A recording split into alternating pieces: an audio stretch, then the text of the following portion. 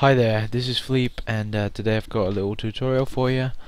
Um, a bit of a, well, a bit of a hacking tutorial, something I've done in the past but this time we're going to go more into detail. We're going to do a bit more hardcore stuff. So basically, um, what we've got here today, I've got, um, I want to show you this straight away. What we've got here is basically um, a memory hack, uh, mainly um, I'm going to tell you what this tutorial is about first so you guys can make a choice on what you want to do and you'll know what those choices will be in a second. Uh, basically I've got two different hacks for you, right? Uh, I'm not going to do them both uh, at the same time. You'll see two options at the end so you can choose what you want. Basically the first one is an external hack. Right, so this is it, the one you're seeing here. This is the slightly easier one, and the second one's a bit harder, but I'll get to that one in a second. Basically, this is what I've got here, and this hack here basically what it does is it gets into the game right? It changes the memory address of that game. So uh, if you've done the C sharp tutorial me before um, if you haven't and you you're really into C sharp I recommend you go back and do that one. So check out my videos. Uh, it should be uh, C sharp how to make a trainer. And um, what this one's about this one goes into more detail and it goes into C++ and whether you're a, an expert well, if you're an expert, you probably wouldn't be here, but if you're really good at this and you just want to learn how to hack, or if you've never uh, written any C++ before, you can do this. I wouldn't recommend it, but you can do this because I'm going to do every step and I'll guide you guys through it. Um, and basically, this is technically a good hack. You know, it's um, it's not hardcore stuff. It's not really advanced, but what we're going to do is going to change things in game. I'll show you as we go along. We're going to be changing health. We're going to be changing ammo and quite a few things. So the two options you've got is the first one is uh, our external hack as I showed you and this one simply is external because it changes things from outside the uh, the application's memory. And our our next one that will be the more in-depth one more difficult one to do uh, will be a code injection. Now um, I'm doing this one first and I'll get on with that one afterwards. And the code injection one will be more thorough so it might have one or two more things and what we're going to build on that one, we're going to we're to write a, an injector. So if any of you have used anyone else's hacks before, you know what this is. So an injector injects a DLL. That's what we'll do as well. A DLL file. We'll write it and we'll build it ourselves. We'll create it so that we can inject that DLL into the game's memory and uh, overwrite those values from inside. Um, and that will be the more in-depth one. Slightly, you know, it's the more used kind of thing uh, at the moment not many people use external hacks but they're a good place to start off in and they they work just as well as the um, DLLs it's just to say that um, the DLLs can do a few more things than the um, than the other ones can't but I'll I'll explain that when when you're doing the DLL one if you do that if you do do it. So um, just a few things I'm gonna I want to take you through this first. I want to show you the what the external hack does.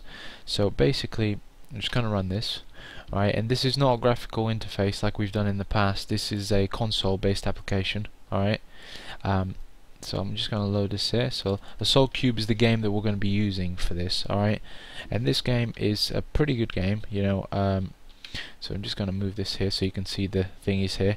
So uh, there's the hack on the on the right side there. So here's the game. It's nothing special. The reason why I chose this uh, is because um, it's a very small file, right? You can download it from the description. It's about 40 megabytes, very small file for a game like this.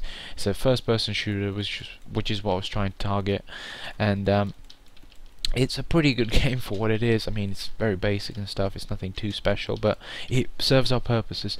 Now, something else I've got to tell you: if you're interested in modding games like Modern Warfare and so on, I guarantee if you can mod this, you can mod that game because this has more protection than Modern Warfare, Call of Duty, um, uh, Black Ops. Uh, Modern Warfare 3 it's it's an absolute joke the type of protection it's got the only reason they don't get hacked that much is because of VAC uh, Valve anti-cheat, they basically just um, pretty much save uh, Infinity Wards and Treyarch's ass on that. Um, so I guarantee you, if you can hack this, you can hack um, you can hack Modern Warfare, um, any of the Call of Duties pretty much, uh, because as I'll, I'll tell you later on, the the protection is terrible on that, and you can change addresses a lot easier than that. Than this, sorry. Um, so basically, here we've got, uh, as you can see there, my ammo's coming down and um, gone down to 20 I reloaded. It's great stuff. So what I'm gonna do is I'm gonna turn unlimited ammo on. So I'm just gonna press F1 and there we go. So I've given myself 7,331 rounds alright and now I can shoot as much as I want. It won't go down. Um, as you can see here I can even do a few jumps with it. It's all good. Um, so we've got that done. Um, and then we've got uh, unlimited health. I click F2 and there's my unlimited health. So I'm just gonna grab a grenade um, now this isn't the best place for me to practice it as you can see there I took a grenade straight on Oh, that one killed me. Now, um, this is a bit of a stupid place to do it because uh, I think the um, the thing is a bit glitchy. So I'm going to go to a bot team deathmatch because that's where the actual game's at. So um, now, uh, something I got to mention quite quickly is um, that um, I don't recommend you do any of this online, although you can, and most people do this kind of stuff. It I take no responsibility for for what you do. So, for example, if you do uh, the things I'm going to teach you in a game like COD uh, or anything like that, then you're at risk of getting banned. There's no doubt about that. I'm not an expert at this. I'm certainly not an expert. So what you're learning here is basically how to do what I'm telling you to do. I'm not. I haven't been doing this for too long. I've learned this a few weeks ago, um, so I'm I'm fairly new at this as well. So I'm just gonna go up to these guys, let them shoot me for quite a bit, and you'll see that I won't die, as you can see. Let, come on, shoot me, bastard. So as you can see, they keep shooting me in my health, so I'm at the enemy's base, and my health just, um, I've chosen the worst type of AI, I probably shouldn't have done that, but it's impossible for them to kill me pretty much. So, by making ammo unlimited, I've also got unlimited grenades, which is quite cool. So I can just kill them all. Um, stab them and stuff. But basically, this isn't any kind of special game. I mean, it's a great game to practice hacks on, I tell you that. Um, you can try them online and everything like that and they will most of the time work fine now if this is a server sided game it won't work uh, sometimes but if it's a game like Modern Warfare or anything like that um, it might work well if you're the host it will always work there's no doubt about that but anyways we're focusing on these sort of games first so as you can see here I've got unlimited ammo and health and and this might seem quite a small thing at first but if you can do these two you can do most things. You can do unlimited armor unlimited pretty much anything in the game. And when we do the DLL we'll be into more in-depth stuff like rapid fire and so on which is quite cool as well in my opinion. So why am I doing this? Um, I'm doing this because, uh, as I mentioned to you guys, I enjoy doing a bit of hacking and stuff. I don't do this to piss people off. I don't do this online. I don't use it. I'm not trying to get banned off any of my accounts and stuff, like uh, my Steam account. I don't want to get rid of my Modern Warfare or whatever. Because most games use, and the reason why I told you Modern Warfare and COD in general is easy is because they don't use um, DMA, dynamic memory allocation, which makes them very easy to hack. So you can change um, ammo and all that stuff really easily um, which for some reason I tried it on games like a 2003 game which has DMA already. I don't know if that's like an automatic thing or I don't know what, but uh, Modern Warfare is really easy to hack because of that. Now what else? So what you learn on this hack, this first hack, is basically um, I won't be showing you the second hack until you select the second video because the second hack will have everything this one has plus a few extras but I don't recommend you do that one until you finish this one. Um, so basically what this one will have, it will have the unlimited ammo, unlimited health cheat, and we're going to build this user interface that we see right here. We're going to build that, um, and it's going to have, you know, pretty much, you know, you type, you press a key, as you can see here, pressing F1, F um, thingy. Uh, if I take unlimited ammo, if I want to get homeschooled, once this guy eventually shoots me, I'm going to get in the middle where everyone is.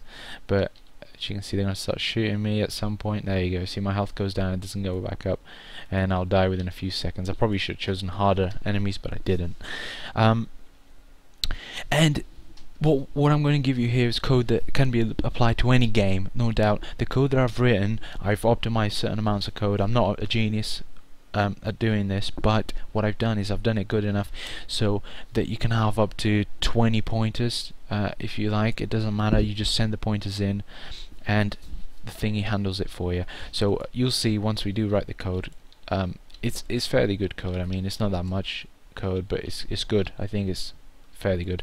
Um, what else? Um, so I'm just gonna check my notes out here. Uh, what else am I?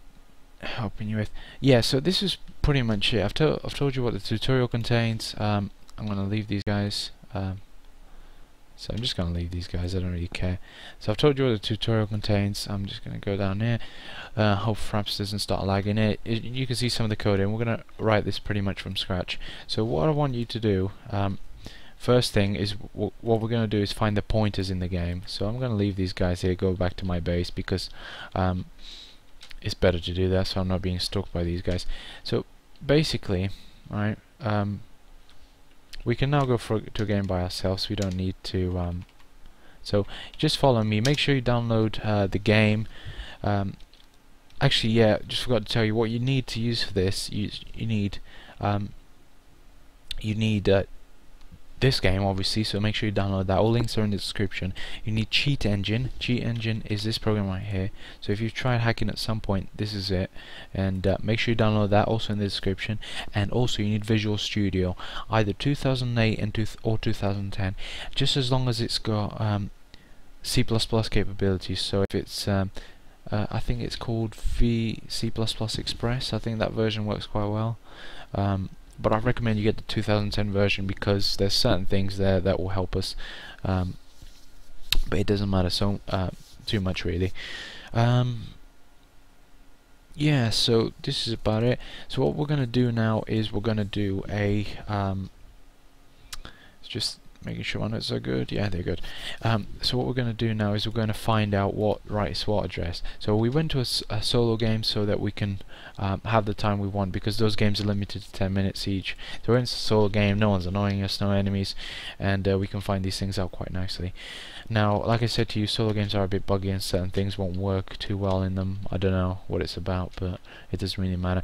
Now if any of you guys played this game before, I need to tell you this, um, because otherwise I'm going to get bitched at. Um, if any of you guys have played this game before, some people say, oh, this is an open source game, and it is, so why don't you just see the code and do it?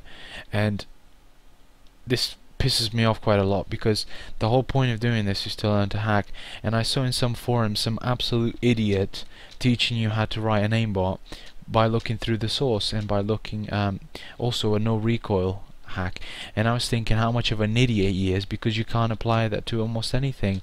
It's not like um, Call of Duty give you the source to their game so you can hack it. So I thought you know this is a guy with pretty high reputation. I thought he's an absolute idiot for doing this. And I don't know would pay attention to that.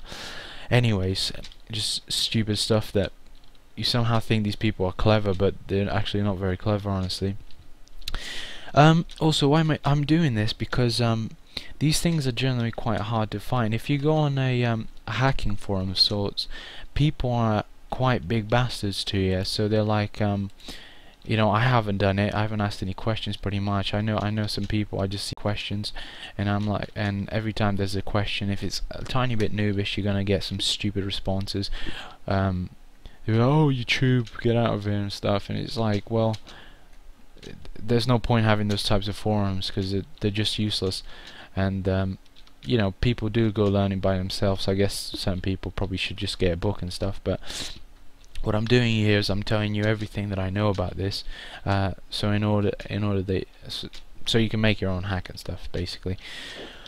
Um, yeah so um, some of the information you've seen here, um, it took me sometimes, every time I had a problem, sometimes it takes days and days because you have to go through forums and forums and just looking at problems and sometimes one small thing just takes a whole day to fix and you're like, oh my god, how could I not figure that out? Anyways,